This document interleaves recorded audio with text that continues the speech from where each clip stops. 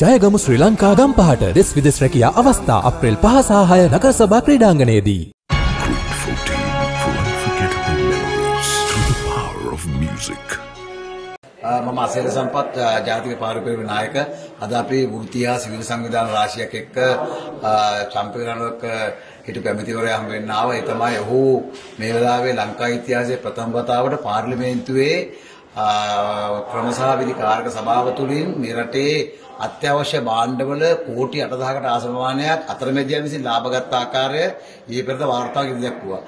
අවුරුදු 75ක් තිස්සේ මේ පාර්ලිමේන්තු ඉතිහාසයේ පාරිභෝගිකයෙක් වෙනුවෙන් මේ පාරිභෝගික මිලදී ගන්න භාණ්ඩ මෙවැනි ආකාර අයුතු ලාභ ගන්න පිළිබඳව හෙළිකර ප්‍රථම අවස්ථාව. ඒ නිසා අපි එහි සභාපති චම්පිරාණ ඇමතිවරයා ඇතුළු ඒ සම්මාන වූ මැති ඇමතිවරු මන්ත්‍රීවරු රාජ්‍ය නිලධාරීන් සියලු දෙනාට ගෞරවනීය උත්තමාචාර කරන මේ වෙලාවේ මෙවැනි දෙයක් හෙළිකිරීම සම්බන්ධව. හැබැයි තාම වෙන්නේ ඒක තමයි. දැන් එදා ඇමතිවරයාක 370 කියලා රෝසල වුණු අද 530යි.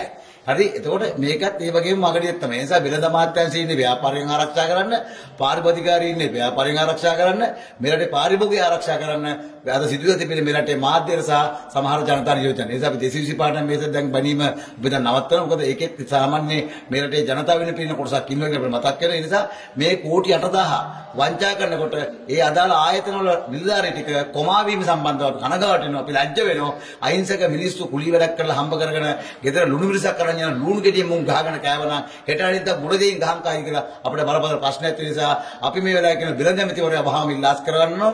නැත්තම් ජනාධිපතිතුමාට කියනවා මේ වෙලාවේ පාරිභෝගික සභාපතිවරයෙක් නේ අධ්‍යක්ෂ මණ්ඩලයේ අක්‍රියයි. මේ උත්සව සමයක් තියෙන රාමසාන් තියෙනවා සිංගල් දමල අලුතවරුත් තියෙනවා සියලු ජාතිගේ විශේෂ අවස්ථාවන් ඒ නිසා වහාම පාරිභෝගිකාරිය ජනාධිපතිතුමාට පවරගෙන ජනාධිපති කාර්යසාධ බලකායක් මේ සතිය දෙක හරි පත් කරලා මේ භාණ්ඩවල මිල අඩුවීමේ වාසිය ලබා දෙන්න. එහෙම නැත්නම් ගජමිතුරු ව්‍යාපාරිකයෝ ටික පුළුවන් තරම් හම්බ කරගන්නවා. අනිත් පැත්තෙම විපක්ෂයට මෙලා චෝදනා කරනවා. දැන් පාර්ලිමේන්තුවේ මේ ප්‍රශ්න කතා ආවා. විපක්ෂයේ මීක් මීක් නෑ සම්බන්ධව. අපිට සැකයක් තියෙනවා මේ ආනයන කරුවන් විසින් විපක්ෂයට මුදල් වියදම් කරනවා දෝක සැකයක් අපිට මේ අවස්ථාවේ තියෙනවා. ඒ නිසා අපි සජිත් ප්‍රේමදාස මහත්තයා කියන අනුරුකුමාරට කියනවා. ඔයාලත් මේ කතා කරන මොකද ඕගොල්ලෝගේ පාක්ෂිකොත් බීලුනුත් එක ලුම්රිස් කනවා. ව්‍යංජන කනවා. මේ ප්‍රශ්නය අල ගහන් කාලා ඕගොල්ලෝ කතා කරන්න කියන එක අපි ඇත්ත මතක් කරනවා.